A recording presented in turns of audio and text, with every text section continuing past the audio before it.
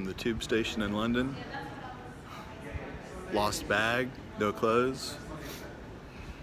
One hour sleep, feeling awesome.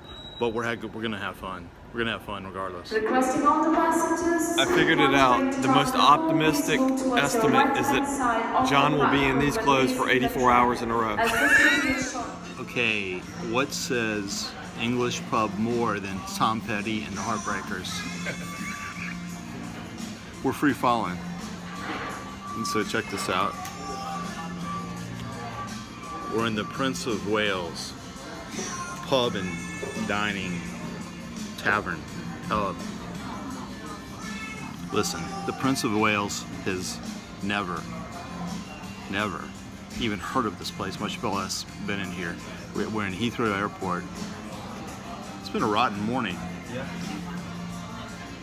So we got in later than expected. It took forever to get through customs. They lost my bag, uh, which means I'm gonna be wearing these clothes for, you know, a few weeks in a row. And then we tried to check our bags so that we could go out and do something. But you can't check the bag so early, more than three hours before the flight, so we couldn't do anything. So then we went to a restaurant over at, what was the name of the hotel? Crowne Plaza. But the restaurant was not open.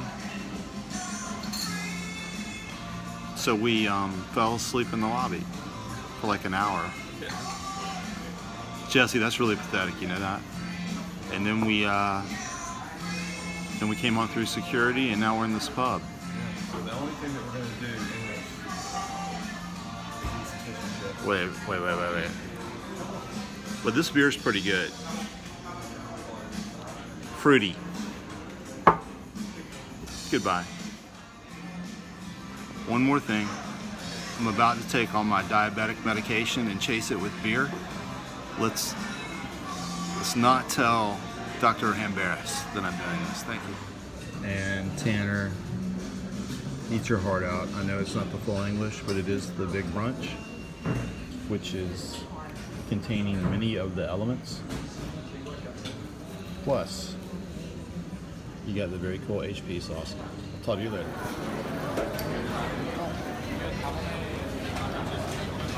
Schiphol Airport, Amsterdam. Good times.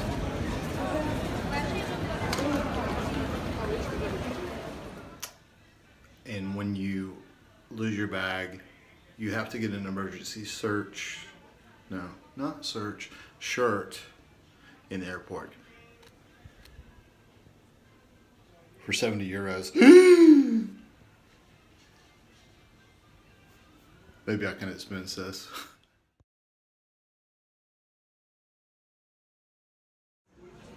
The plane is here, we think. Maybe.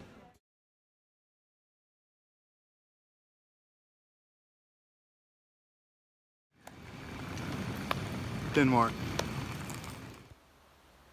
Well, um, Alden was kind enough to pick us up tonight. He gave us a ride from the airport to the hotel, the Scandic Hotel, which this is a more modern American style hotel.